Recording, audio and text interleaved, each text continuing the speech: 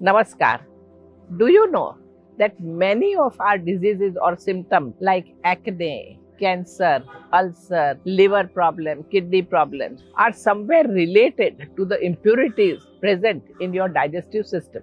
Yes, our digestive system has a very important role to play in normal functioning of our body. And so it becomes necessary to detox the digestive system at the regular interval. We are not aware, but our intestines may have food particles which are as old as one year, which may hinder the system. It is vital to remove out of our system. Do not worry. I have very unique solution to offer. It is called Shankha Prakshalan. It is most ancient practice in Hatha Yoga which detoxifies your body and makes absolutely clean.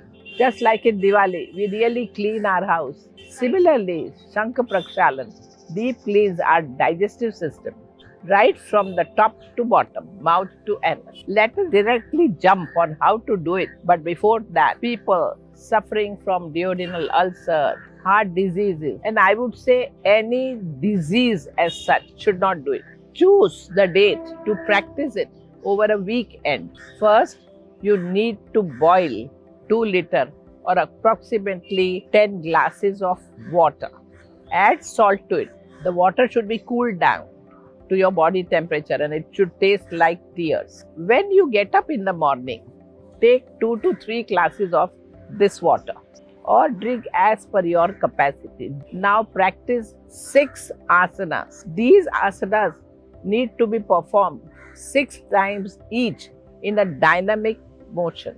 Remember, if in between asana you feel like going to loo and evacuate your bowel, then feel free to do it immediately. And you start again from where you left. The asanas are number one, talasana, number two, keeping your legs one foot apart, stand straight, inhale and raise your both hands straight from front to head along with your heels raising upwards. Hold your breath for about six counts and slowly come back by rotating your both arms from behind to a starting position.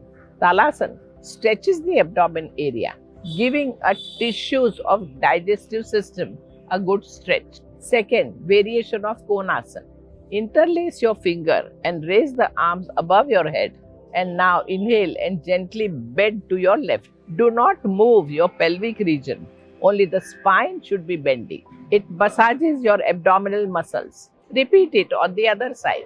Third asana, Vakrasana. Bring your feet together. Inhale and raise both the hands in front of you. Now exhale and twist completely to your right. Slowly come back and then twist to your left. Do it for six times. Vakrasana gives a nice twist to your abdomen. Fourth asana, Kati Chakrasana. This is another twisting asana. Your legs should be two and a half feet or shoulder wide apart.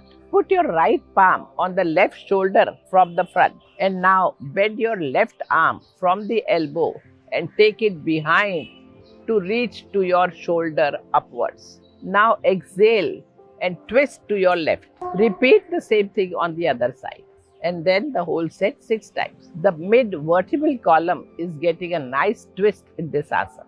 Fifth, Triyak Bhujangasana. This is a twisting variant of classic Bhujangasana. All you have to do is lie down on your stomach. The prone position will provide pressure on your abdomen.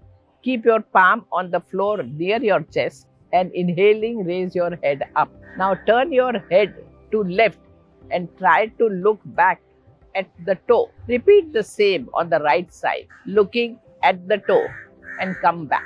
Twisting gives an appropriate massage to your digestive organs. Sixth asana is Udarakarshan. This is the asana for abdominal compression. Here you are sitting in Vajrasana. Exhale and bend your left knee in such a way that the sole is placed on the mat and the knee is touching the chest. Try to place the sole as close to your body as possible. And now twist to your left side. Hold for 6 counts and repeat the same on the other side. People suffering from knee pain or have undergone knee replacement have to skip this asana.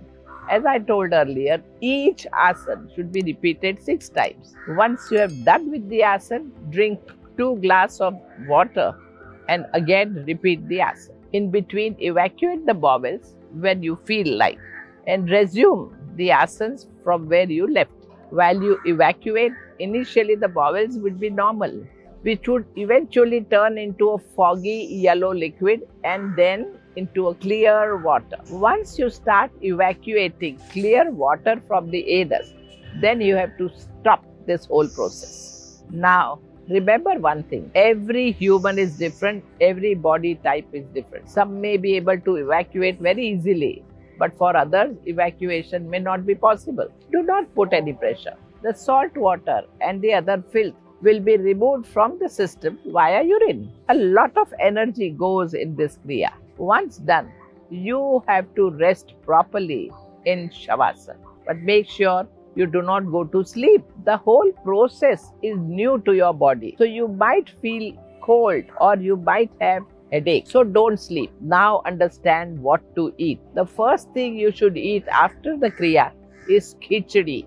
Khichdi should be made with yellow moong lentil, moong dal and rice, clarified butter that is ghee and pinch of turmeric. It will restore the digestive system. Clarified butter will have a thin coating over the intestinal wall until it produces new lining. Rice gives digestible carbohydrate that produces mucus which protects alimentary canal until the new lining cover the wall. Lastly, the lentil will provide bulk to keep the digestive tract. It would provide stretch and will also help in any kind of cramp. It also gives digestible protein, offering proper nutrition. Khichdi will resume the normal peristalsis and avoiding any kind of constipation, diarrhea or indigestion. Again, Take rest, but do not sleep for three hours after the first meal. Your second meal also should be khichdi, but you have to have it after six hours of the first meal. Then you can resume eating as per hunger. But you have to strictly stick to food like boiled vegetable without spices and onion garlic. You should avoid even oil. Fruits, buttermilk, lemon water and diluted milk. These are the kind of food that you have to eat for minimum two days. Only then we can say that you have detoxed your digestive system to its fullest. Other kriyas that you can do to rest are Makarasana and Nishpandabha. Try to save energy by talking less and engaging minimum in heavy activities. After two days, on the third day, you will feel your energy is really boosting. You will feel very active throughout the day and your productive level will also go very high. After detoxifying your body, try to binge less on oily, spicy and junk food. Focus on eating a healthy and fibrous food.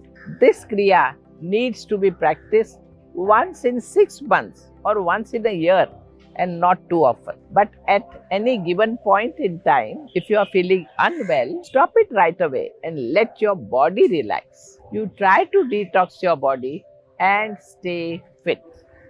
Namaskar.